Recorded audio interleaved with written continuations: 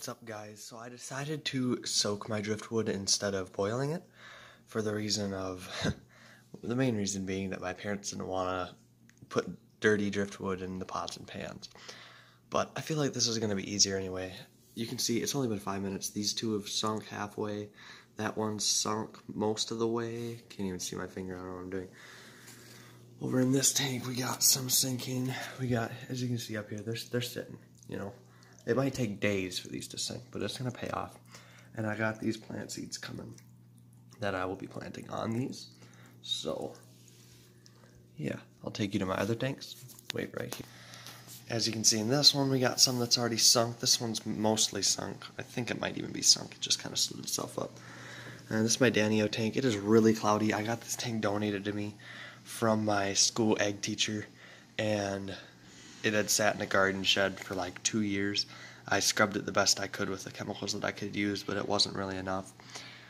But it still works, and I got these in here. Once I get those plants coming, the plant seeds that are coming, planted, I think that this water and the glass itself might even clear up. But if not, I think I'm gonna do like a boggy jungle scene in this one. I might get some like droopy moss and hang it off some tall standing driftwood. To go to the shrimp tank real quick. So as you can see in here, we got one that one really cool curly Q, one that I picked up. Got a couple that are already sunk and got a lot more floating in here. This is gonna be heavily, uh, heavily, heavily, heavily. Sorry about the delay.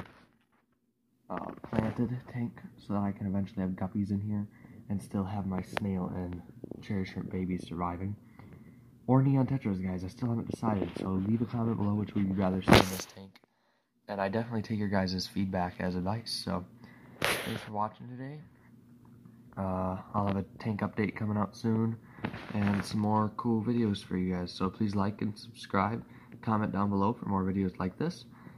And any suggestions, comments, criticism, anything like that, please leave in the comments. And I'll hope to see you guys soon.